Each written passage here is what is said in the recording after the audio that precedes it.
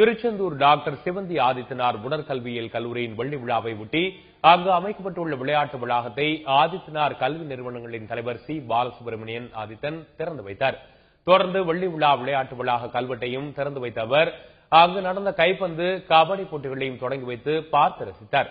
ஆதித்தனார் கல்வி நிறுவன மேலாளர் உட்பட பலர் இந்த நிகழ்ச்சியில் கலந்து கொண்டனர்.